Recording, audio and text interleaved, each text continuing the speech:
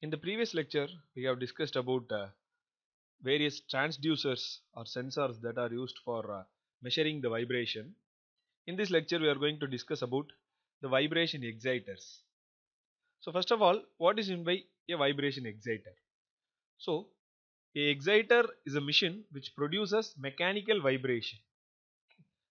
So, a sensor will measure the vibration and the exciter will produce the vibration. So, the sensor will convert the mechanical input into an electric pulse. In case of exciter, it will produce a mechanical vibratory motion. Okay. What is the purpose of using exciter means? So, the exciter are used uh, to identify the dynamic characteristics of machines, structures or for any testing purposes. For example, if I am producing a new material and I want to test uh, the dynamic behavior of the material, so I have to excite the system that is I have to vibrate the system externally. So in that case your vibration exciter is used to produce artificial vibration. Okay, so the vibration exciters are mostly used for testing purposes. So there are two types of vibration exciters are there. One is mechanical exciter and another one is electronic exciter. So first one mechanical exciter. So the basic mechanical exciter is based on Scotch-Yoke mechanism. So we know that what is Scotch-Yoke mechanism. So the disc will rotate, it has a pin and when the disc rotates, the rod will reciprocate. Okay. So this disc will be connected with the motor and when the motor rotates, then this rod will produce some vibration. So this is all about uh, using Scotch-Yoke mechanism as a mechanical exciter. Okay. So this Scotch-Yoke mechanism is used in uh, the excitation for uh, car dynamic uh, analysis. That is uh, dynamic analysis signal producing for cars. Okay so before uh, manufacture before uh, sending the automobiles to the market generally what they will do is they will uh, excite the vehicle and they will measure the vibration levels and they will check whether the measured levels are within the safe limit or not. So in that case they have to uh, provide external vibration to the automobile. So for uh, vibrating the cars and uh, aeroplane wings, so this Scotch-Yoke mechanism is used earlier. Then the next one is unbalance. So it's very easy. We know that the unbalance will uh, produce some vibration and uh, if you create unbalance artificially then it will automatically create the vibration you can see the image. So here an unbalanced mass m is placed with an eccentricity of r and uh, the system rotates with an angular velocity of omega. So when it rotates we know that it will produce some unbalance. So the magnitude of the unbalanced mass will be m naught u omega square. Okay, so here the unbalance is used to produce the vibration. So this is uh, another type of mechanical exciter. So you can see the image. So the motor is connected with the unbalanced disc. So in this disc, so we have a mass on one part of the disc alone. So for the remaining 180 degree, we don't have any mass. So it creates unbalance and when the motor rotates, automatically the system will vibrate. So if you fix this motor on a machine, then uh, the generated vibration of this motor will also be transmitted to the machine and the machine will get vibrated. Okay, so this concept is used in uh, the mobile phone vibrators. So, so small vibro motor is used with some unbalance. The next one is electrodynamic shaker. So this shaker is uh, used in all applications nowadays. Okay, so it has a coil and uh, a magnet. So the principle of electrodynamic shaker is when current passes through a coil placed in a magnetic field, a force F proportional to the current and the magnetic flux intensity is produced which accelerates the component to be placed on the shaker table. So when the current is passed through the coil that is placed in a magnetic field then the vibration is produced on the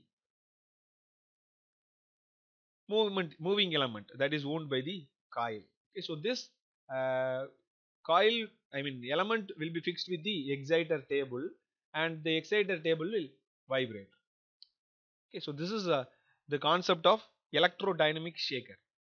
So here the electrodynamic shaker converts uh, the electrical input into a mechanical output. So in case of uh, a mechanical vibrator, the motor generates the vibration. So there also the electrical input is given to the motor and the motor converts the electrical input into a mechanical vibration. So here uh, the flexible, I mean electrodynamic shaker is converting the electrical signal into a mechanical output. So it is inverse to the sensors.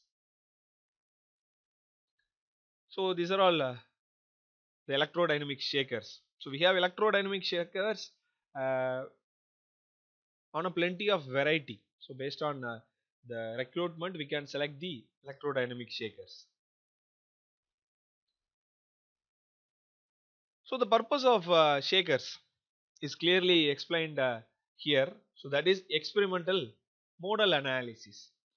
So what is meant by experimental modal analysis is as I discussed earlier before uh, delivering the new newly produced automobile into market so actually we have to measure the vibration signals, the vibration response of uh, the vehicle and we have to check whether the vibration generated is within the safe limit or not. So that is the first point. and second point we have to check the resonance. So that is the vehicle uh, induced vibration should not match the natural frequency of the component that is fixed in your vehicle. So it should not match uh, with any of the component. So that is the purpose of doing experimental modal analysis. So experimental modal analysis means experimentally we are going to identify the natural frequency.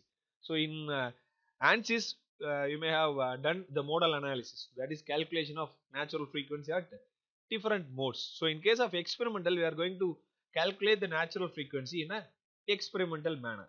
So first of all I will explain the construction then we will move into the working principle. So here we have uh, an automobile that is supported in a elastic cord. So it is not fixed in the foundation. So the purpose of uh, providing elastic cords or springs is to provide a free movement to the structure.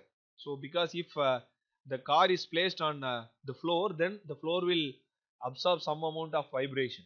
So that is why it is in a placed in a floating manner. Then a vibration transducer or accelerometer is uh, uh, placed here and uh, the output of the accelerometer is given to a spectrum analyzer. So it's a FFT analyzer or maybe we can use any kind of controller.